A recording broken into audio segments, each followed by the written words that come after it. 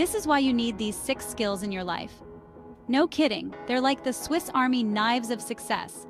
The first skill is the art of listening. Sounds simple, right? But truly listening can make you the most interesting person in the room. Next up, no complaining, no criticizing. Think of it as a detox for your soul. You'll be amazed at how positivity becomes your new superpower.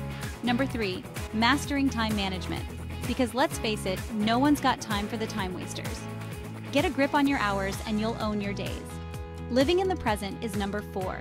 It's like your daily dose of mindfulness, minus the incense sticks.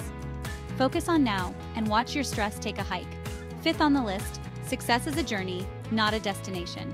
Because success isn't a pit stop, it's the whole road trip. Enjoy the ride.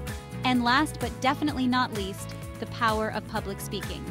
Unleash your inner orator and watch doors open like magic.